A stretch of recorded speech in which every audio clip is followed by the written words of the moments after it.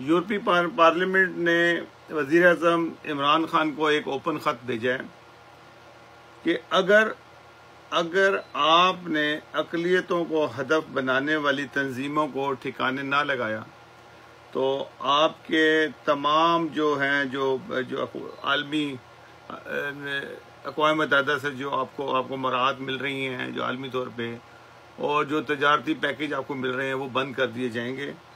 इसके अलावा आपको, आप जो जो मिनॉरिटीज़ के साथ जो सलूक हो रहा है, उसको, उसके ऊपर पर गौर करें, क्योंकि बहुत ज़्यादा ज़्यादती हो रही है और हती के अभी पैदर पे बहुत सारे वाक़ात हुए जिसके अंदर जिसके अंदर अगर आप देखा जाए तो मिनॉरिटीज़ को बाकायदा निशाना बनाया गया मुख्तलिफ़ चीज़ों के अंदर, जैसे कि अभी अली मोहम्मद ने ने जो हरकत की असम्बली के अंदर, वो एक वाक़ क्या है कि जिसमें उसने कहा, जी, अठारह साल की जो जो हद है बच्ची के, की शादी की, वो इस्लामी इशू है कि हम जो है, वो बारह साल या दस साल करेंगे। मैं तो सिर्फ़ ये पूछता हूँ कि अली मोहम्मद से या जो नूरुल्ला कादरी साहब से जो लोग मुखालफत कर रहे थे और जो बहुत सारे हैं, आप क्या अपनी बच्चियों के रिश्ते, शादियाँ कर सकते हैं बारह साल की उम्र में?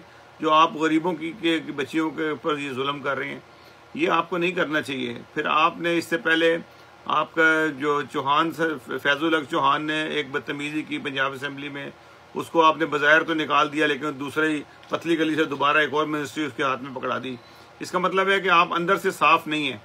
तो ये आपका साफ़ होना बड़ा ज़रूरी है कि ये आप जो हरकतें कर रहे हैं, आप ये ना समझें कि दुनिया की आँखें बंद हैं। आलमी आलमी में जो लोग सोच रखने वाले हैं वो नहीं देख रहे आपको दुनिया सब आपकी तरफ़ नज़र है कि आप कर क्या रहे हैं। ये सीसी आपकी चलेगी नहीं हर जगह पे।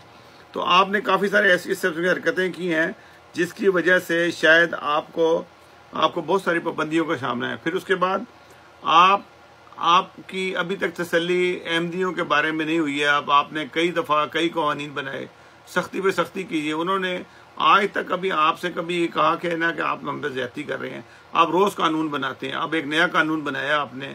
बना रहे हैं जो हाई कोर्ट के ने जो फैसला किया है कि कि कोई भी कादियानी या अहमदी जो सा है, अगर हम उसको कह दें कि तुम काफर हो तो वो, उसको वो अपनी, अपना वो गवाह वो नहीं दे सकता, सफ़ाई नहीं दे सकता कि कि मैं मुसलमान हूँ, मैं तो कलमा पढ़ता हूँ, मैं नमाज़ पढ़ता हूँ।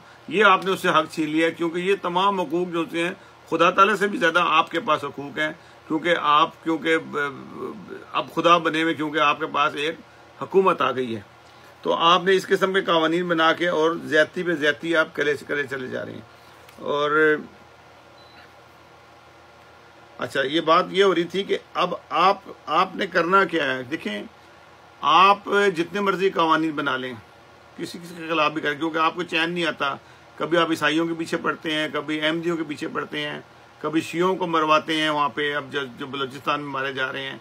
कहीं ना कहीं ये जो आपने रखे हुए हैं ये मुल्ला रखे हुए हैं इन्होंने कुछ ना कुछ करते रहना है। और इमरान खान साहब ये आपके लिए ख़ास पैगाम है कि आप इसको सोचें हमने आपको जो वोट दिया ये आपकी फेवर की थी इसलिए नहीं की थी कि आप एक मजहबी दहशत गर्द मुल्क बना दें इस, इस मुल्क को। हमने तो कहा था शायद आपका तहरीक इंसाफ है आप इंसाफ देंगे। इंसाफ वाली कोई बात आपकी तरफ़ नज़र नहीं आ रही क्योंकि आपके मिनिस्टर जो उनसे हैं वो अदालतों में पेश हो रहे हैं और एक के बाद एक पाबंदियाँ लगा रहे हैं। आप कभी ये प्रूफ कर सकते हैं कि कुरान मजीद जो है जमात अहमदिया का छपा हुआ है उसके अंदर थोड़ी सी भी कहीं पे एक ज, एक जबर जेर का भी फ़र्क है उसके अंदर? ये खम खा की आपके जजेस भी जो से आप किसी किस्म के काम कर रहे हैं और आप यकतरफा तौर पर सब काम कर हो रहा है आपका तो इसको इसको देखें ये काम ना करें। आपके लिए मजीद और तकलीफें बढ़ेंगी। हम नहीं चाहते कि कि पाकिस्तान का नाम दुनिया में बदनाम हो और और पाकिस्तान तनहा रह जाए। ये ये बहुत अफसोस की बात है। आप इस पर नज़र षानी करें इन चीज़ों के ऊपर और अपने ये जो आपने लोग रखे हुए हैं मुला भर्ती किए हुए हैं, आपने नजरियाती कौंसिल में वो इसका केस तो भेज दिया, लेकिन उस केस की क्या अहमियत है? वो नजरियाती कौंसिल में लोग कौन बैठे हुए हैं? मौलवी शर्फी बैठे हुए जो दस दफ़ा शराब के नशे में पकड़ा गया बोतलें बरामद हुई ऐसे लोग बैठे हुए हैं। ये फैसला करेंगे कि कि बच्ची की, की शादी है? भाई बच्ची की शादी किस उम्र में फिर फिर मज़े की बात यह है कि आप बच किस लिए रहे हैं?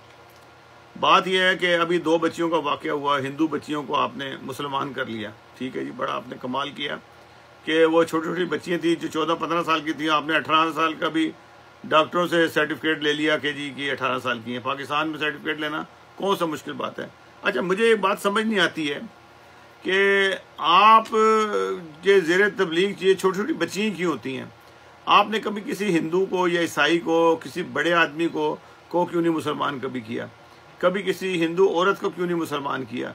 आपको ये छोटी छोटी नाबालिग बच्चियाँ नज़र आती हैं जो मुसलमान कर रहे हैं और उनकी शादी हो जाती है फटाफट। कोई ऐसा ऐसा काम क्यों नहीं करते जिससे इस्लाम फैले वहाँ पे, उस इलाके में? में, क्योंकि वो सारा का सारा थरपार कर रहा हो, इस इलाका जो है हिंदुओं का आबादी है, उसके अंदर आप अच्छे काम करें।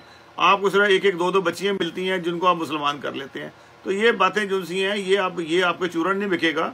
दुनिया की नज़रें हैं इसके ऊपर और ये यूरोपियन पार्लियामेंट से जो आपके ऊपर अभी जो जो पाबंदी आ रही है, वो इसी वजूहत से आ रही हैं कि आप आप एक आँख से जो से है ना, ये तमाम चीज़ों को देख रहे हैं। आप समझते हैं कि हम बच गए इस दफ़ा भी। हर दफ़ा सोचते हैं कि हम बच गए, लेकिन दुनिया की नज़रें आपकी तरफ़ हैं और खुदारा अपने आप को संवारें।